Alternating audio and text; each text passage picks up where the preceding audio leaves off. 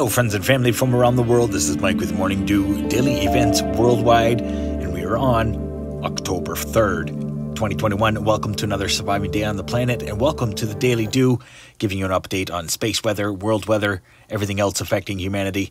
Starting out here, looking at the last 48 hours on their sun, 304 angstroms, looking at the large plasma filaments erecting from the right side there from that last CME, as well observing that central region northern hemisphere sunspot, waiting for that to crackle off some more activity. Last 48 hours has been pretty active. We saw that large CME yesterday that was documented. But also, we're going to be looking at a couple solar tornadoes. Very tall solar tornadoes on the sun. Looking at outgoing imagery here. Nothing major to talk about except observing that large CME from yesterday, which will give us a glancing blow, as noted in last night's video. Looking here at the multi-spectrum, all of the events the last 48 hours, and right there is where we're going to be observing the solar tornadoes and as well that sunspot region. Definitely going to be keeping an eye on that, and as well the Earth-facing sunspot right here. But this is the region that I was talking about. Northwest side on the sun. Two solar tornadoes. Right in front of that sunspot.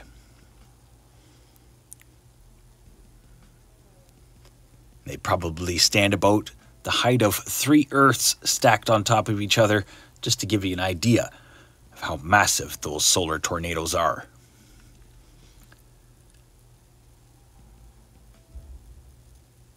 Quick look at ISWA Space Prediction Spiral. Still, not much has changed since last night's video. Looking at Mercury coming in quick here for a retrograde coming up on the 10th. As noted in the Volcano and Planetarium report, solar X-ray flux remains just below B level, and as well geomagnetic activity is in the G3 range.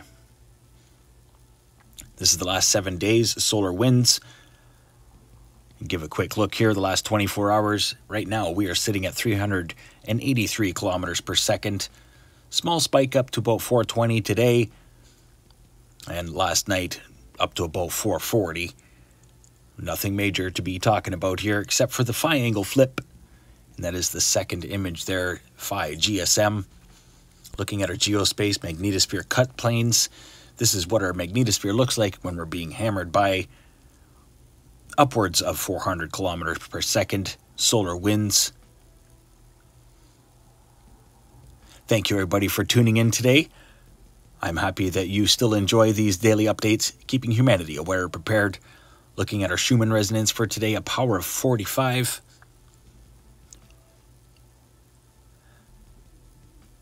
And a quality of 13.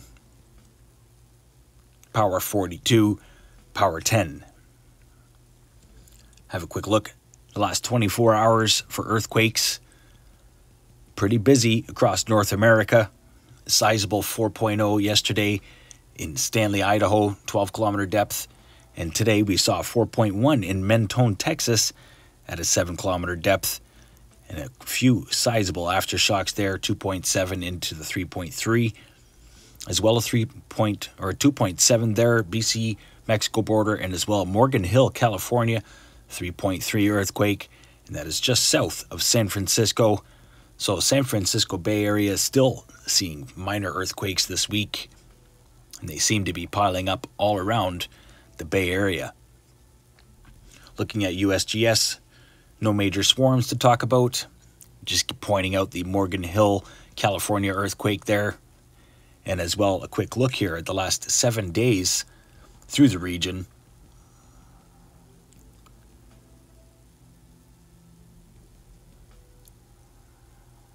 I want to thank everybody for subscribing to the channel as well. Thank you for all the memberships, super chats, and donations. God bless you all.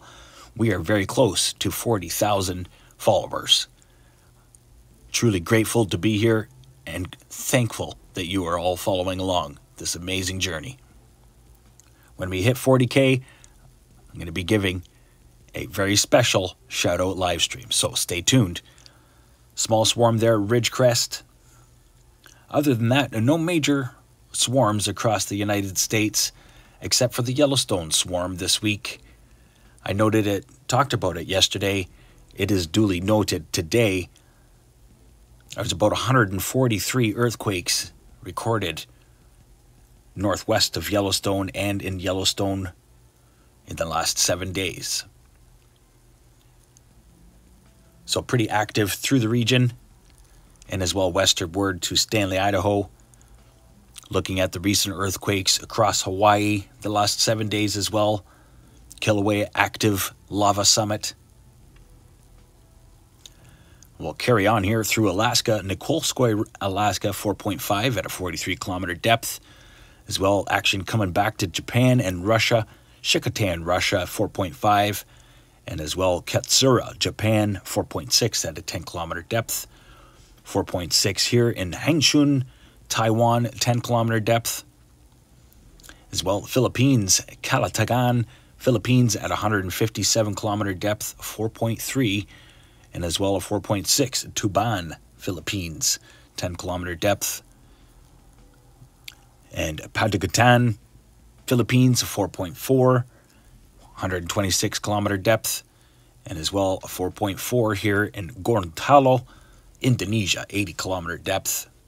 Pretty quiet through that region considering all of the deep earthquakes we've had recently. 5.1 there, Kermadec Islands, and Isangel, Vanuatu, 4.9.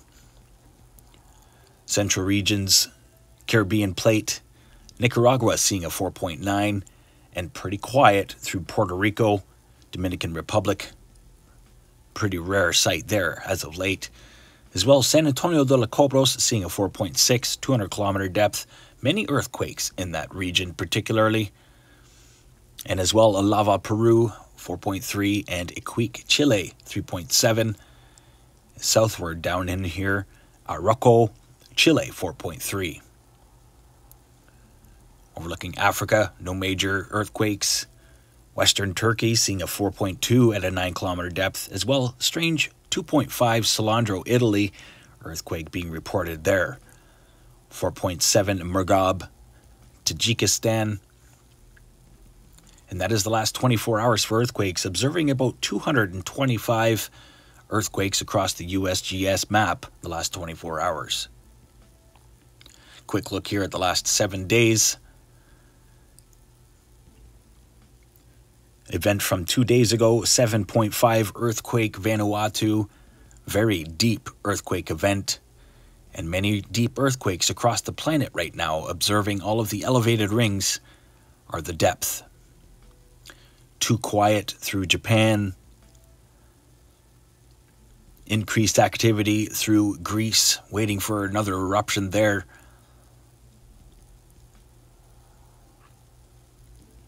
And as well, quieting down here, South Sandwich Islands, so expecting some activity to come back to the region. And that's the last seven days for earthquakes. Heads up, have a plan. We're having a look here at Windy now. This is the next 10 days for snow accumulation as we have winter very close to our doorstep here in North America, especially through parts of northern Alberta and as well BC. All of BC, pretty much seeing cold temperatures and as well snow moving in over the next 10 days. Up, upwards of 30 centimeters of snow is going to fall through Wyoming, down into Salt Lake City, even. And northern Alberta will see upwards of 50 centimeters of snow. Wanted to share here the wind maps from Windy as well. The next six days forecast. Pretty big system grinding into BC and Alaska this week. And as well, look at this. This is Hurricane Sam heading straight into Iceland and Greenland still. And then Tropical Storm Victor to follow.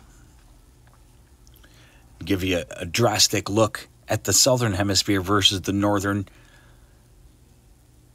Very large low pressure systems, big anomaly south of Australia it's almost as if the North Pole is somewhere there just southwest of Australia. All these systems grinding around there. Let's have a look at the most recent volcanoes getting updated. Pacific Disaster Center.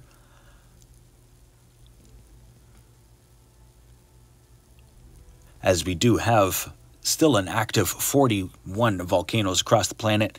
We're looking at Sangay in Ecuador, Suwanosejima in Japan, Reventador in Ecuador, Sabancaya, Peru, Nevados de Ruiz, Colombia, La Palma in Spain, Popo, Mexico, Fuego, Guatemala, Semisopochnoi, Katmai, both in the United States, as well Langila and Lewotolo. So that's about nine volcanoes getting updated today, active and erupting. Those are just the updates. Overlooking the Atlantic Ocean, Tropical Storm Victor and as well Hurricane Sam are both still alive in the Atlantic. Have a quick look at the five day forecast here. Not much has changed since last night. And as well, we do have a tr couple tropical systems forming in the West Pacific and still tracking tropical cyclone Shaheen slash Gulab. As you can see, that storm has been spinning for nine days. So that's grinding up into Iran right now. Let's have a look at the five day forecast brought to you by MeteoEarth and as well daily events worldwide. Starting out here, home base, Ontario, as we had to cool down a little bit and as well some rain, and it's going to continue here for the next few days. Scattered showers and gray days ahead for most of Ontario this week. High pressure ridge building in after that, but some very cool temperatures coming from the north. The cool down is definitely beginning across Canada. Cooler temperatures, Quebec City, and as well through southern Alberta, northern Alberta. By the end of the week, you'll be in the minus.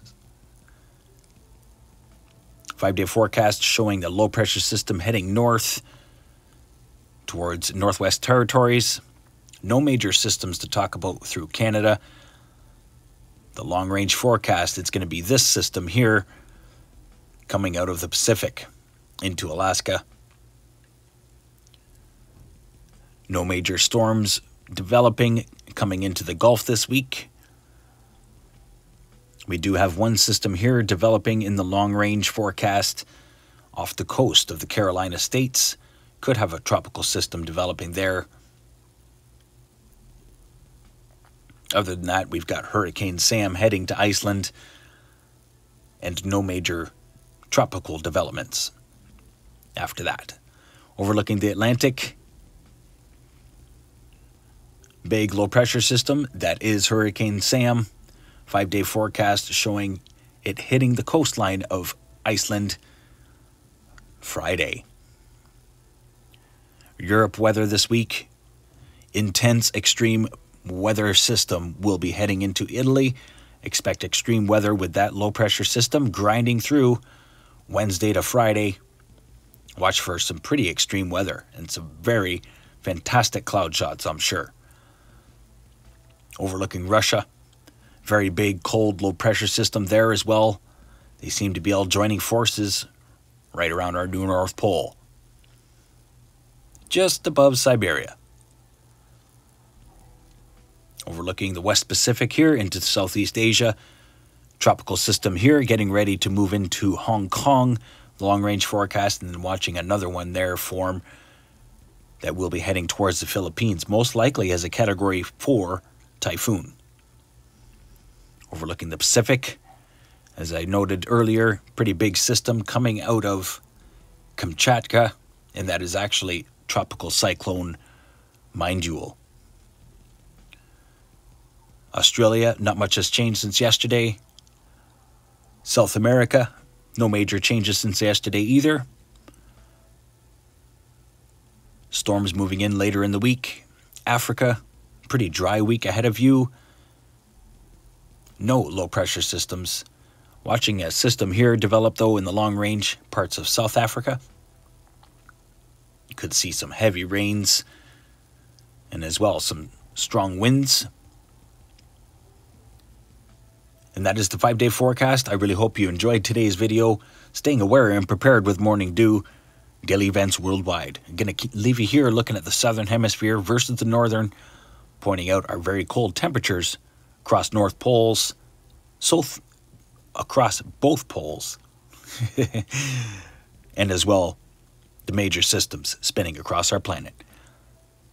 Much love to everybody. Stay aware and prepared. Stay young and have fun. And get your morning dew. Bye bye now.